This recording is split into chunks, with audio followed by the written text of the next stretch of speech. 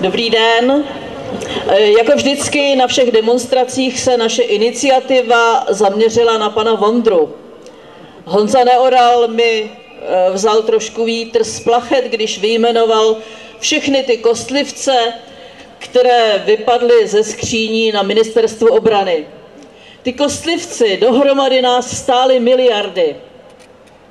V každé demokratické společnosti by současný ministr obrany a všichni bývalí ministři obrany s desítkou úředníků s holýma zadkama seděli na úřadu práce.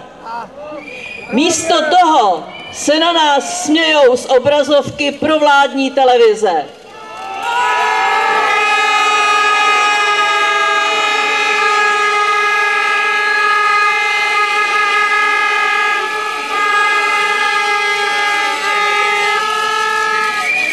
Na kolikátém místě ve světě bylo Řecko ve zbrojení v letech 2005 až 9? Na pátém, na celém světě na pátém místě. Malé Řecko na pátém místě ve světě a Atény vydávají na zbrojení 4,3% hrubého domácího produktu, přičemž průměr v zemích OBSE je 1,7% Dnes je Řecko na pokraji bankrotu a přesto jeho vláda zjevně stále má velký apetit na nákupy zbraní. Atény mají zájem na pořízení čtyřstovek tanků, jeden kousek bratru za 8 až 10 milionů dolarů. Tak se dělají ty dluhy. Myslíte si...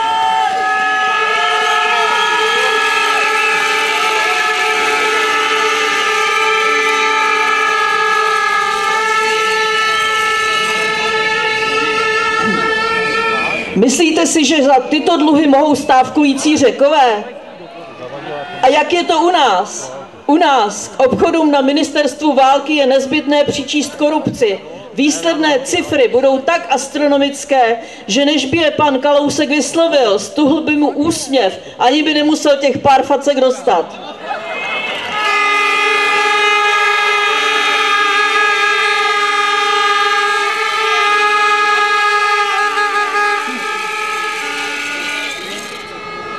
Veřejnovládní televize na nás chrlí informace, že za dluhy státu může rozežranost občanů.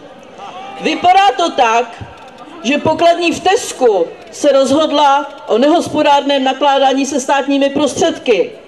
Nebo pravděpodobně paní pokladní v Byli zase zavedla rovnou daň, přestože všude okolo mají daň progresivní. Pokladní v Globusu nám tady zajistila závod v korupci s takovým úspěchem, že nás v této disciplíně předběhly už jenom tři státy světa.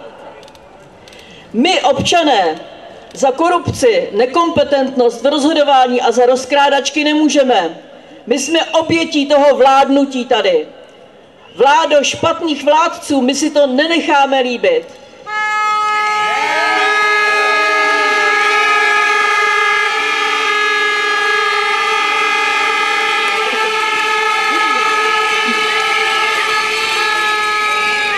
17 iniciativ občanů půjde na pokračování petičního slyšení, o kterém už mluvil Tomáš Vokoun.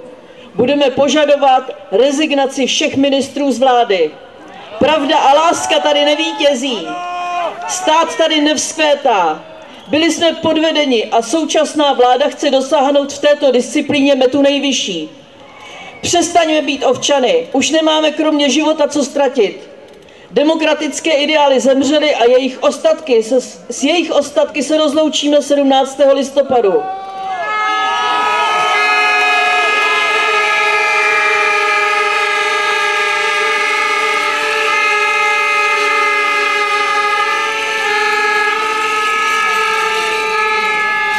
Vyzýváme všechny levicově smýšlející strany a všechny rozumné lidi, aby se spojili proti vládní koalici a postupovali proti ní společně.